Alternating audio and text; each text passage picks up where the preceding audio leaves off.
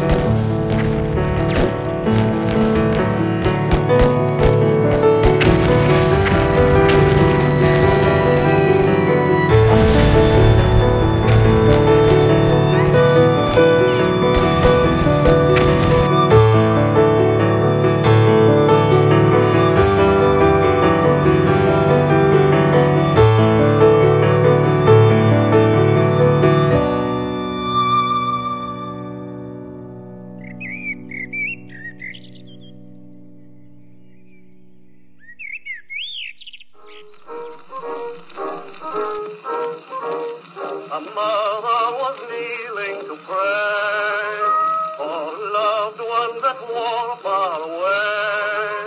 And there by her side, her one joy and pride, knelt down with her that day. Then came a knock on the door. Your boy is commanded to